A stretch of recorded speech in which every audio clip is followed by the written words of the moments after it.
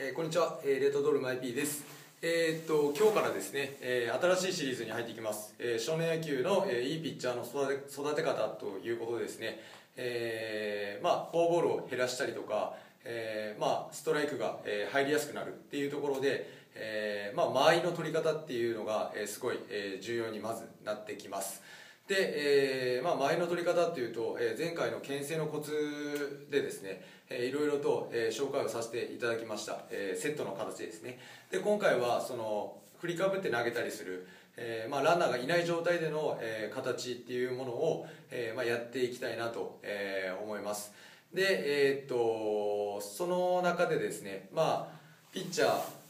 やってて、えーあのピッチャー、えーテンポがいいねとか、えー良くないねとかいう言い方を、えーされたり、えーすると思うんですけどまあ実際、えーまあテンポがいいとかテンポが、えー良くないとかって、えーどういうことだろうっていうことで、えまあいろいろ、え考えたりすることがあるとは思うんですけど、まあ、そういったところをですねちょっと説明していきたいなと思います。まずそのテンポがあんまり良くない、えーピッチャーの方を、えー今回、えー紹介をしていきたいと、えー思うんですけど、えーまず、え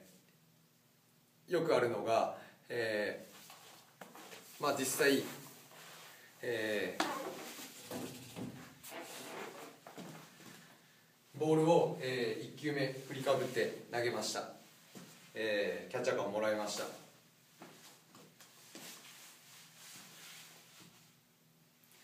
投げました。で、えー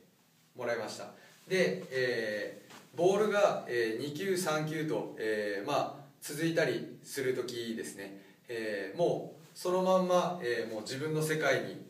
入ってですね、えー全く周りにその声をかけようと、まあ、しない、えーもう本当に自分の世界だけの状態に入ってしまってる、えーもうあの入らない入らない、えーそういうイライラモードだったりとかもうこの自分の一人のワールドになってしまってるっていうのが、えーまず、えー一つ目ですね。で、えー二つ目がですね、えー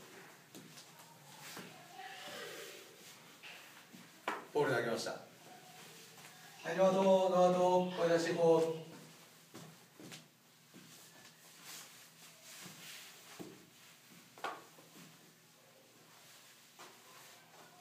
さあ打たしていくよ打たしていくよ。っていうふうにですね。まあ今のはちょっと極端なんですけどとにかく一球一球ですね、えー事細かく、えー声をかけると、えーいうことも、えー結構、えーあったり、えーします、えーで、え3つ目ですね、えーいきます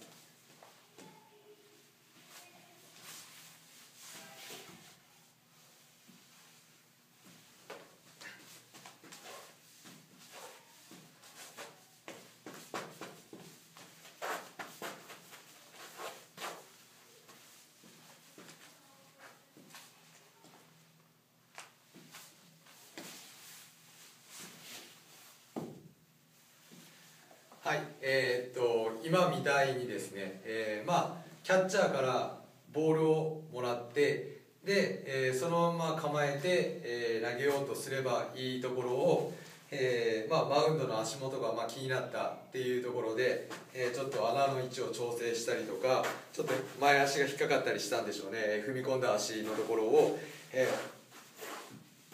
泥をかぶせたりとかして、えーっとそういったことをやったりとか、えーまあ実際あの、まあ、そういったケースもあるんでやることが悪いとかじゃなくてですね、えーその一球一球のその感覚の間合いを、えー長くするような行為を何回も連続でやってしまうっていうことが、まあ、あまり、えー良くないというところで、え3つ目としては、えー捉えてもらいたいなと、えー思います。で、え4つ目ですね。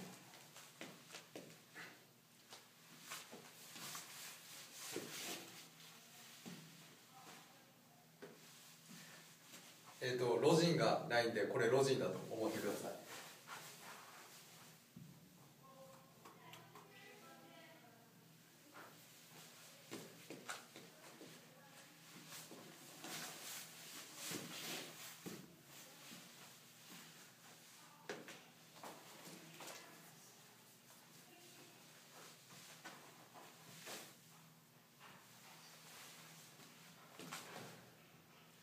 という形でですね、えー、まあ細かくですね、えー、まあ気になったのかもしれないんですけど、まあ、ロジンを使ったりとか、まあ、あの触ったりとか、えー、まあそういう感じでですね、えー、まあこれもその間を長くしたりするえー、っていう部分であんまりこう良くなかったりしますのでまああのあまり気にしすぎしまってる、えー、それが逆にその間を長くしてしまってるっていうところですね。で、えー、5つ目いきます。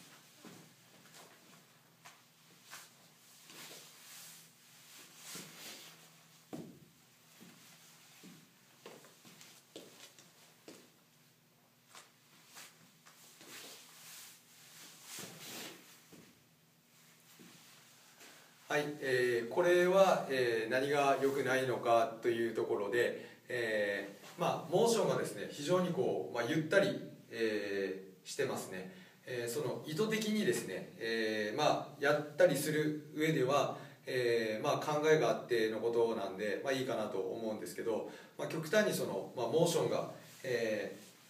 遅いっていうのもですね、え、逆にその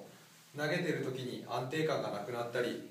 え、バランスが悪い子だと安定感がなくなったりして、え、コントロールが安定しづらかったりとか、まあ、実際そのモーションが長いっていうことが、えー、モーションが遅いとか長いっていうことはやっぱりその間が長くなるっていうところもにも